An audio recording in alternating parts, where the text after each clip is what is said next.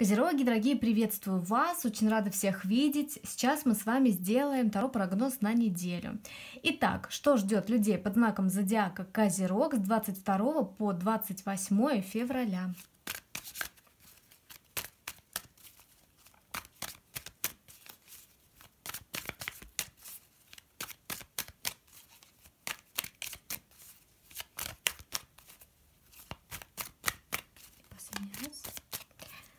Козероги, расклад для козерогов.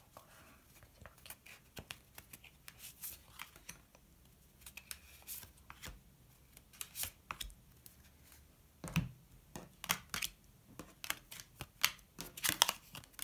Ой, Козероги, у вас очень хорошая неделя. Я всегда радуюсь, когда все так хорошо.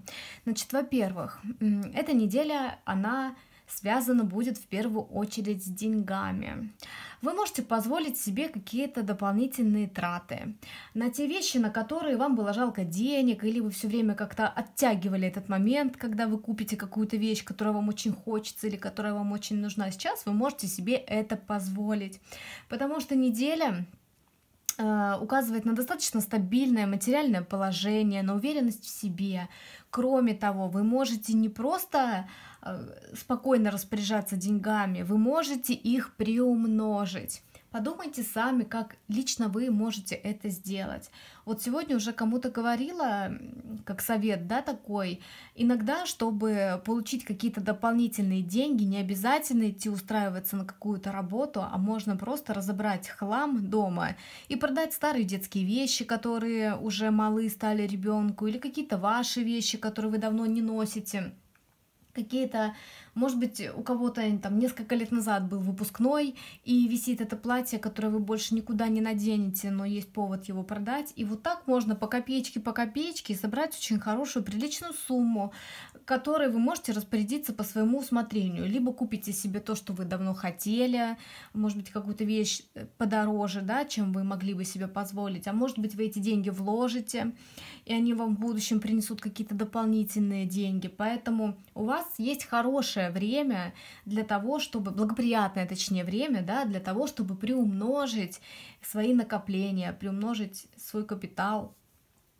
вот, но э, это не про, знаете как, эти карты, они говорят не про то, что э, вам нужно э, затянуть пояса потуже и наоборот начать себе в чем-то отказывать. Нет, деньги любят быть в обороте, деньги любят уходить, чтобы вернуться. То есть с деньгами нужно легко рас- расставаться.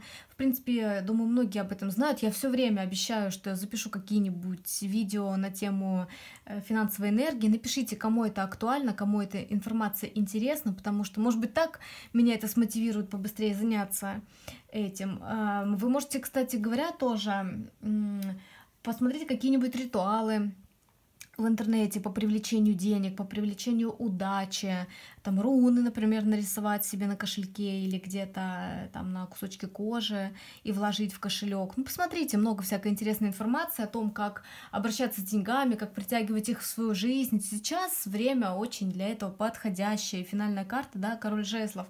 Это также карта, указывающая на человека, который уверен в себе, у которого все получается, который всего достигает, который всего получает.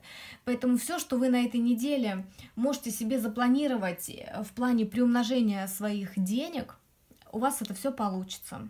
Поэтому не теряйте ни дня. Вот э, сегодня, например, не знаю, кто когда из вас посмотрит этот прогноз, но чем раньше вы вот прям сядьте с блокнотиком, с ручкой или просто на листочек напишите все возможности, которые у вас есть для того, чтобы вот, ну, приумножить деньги. И не теряйте ни дня, пользуйтесь этим, пока время подходящее, пользуйтесь. А, Поэтому все у вас классно, я всегда очень радуюсь таким картам. Желаю вам удачи, не буду больше воду лить, все сказала самое важное. Вот, встретимся через неделю, пусть у вас все получится. Всем пока.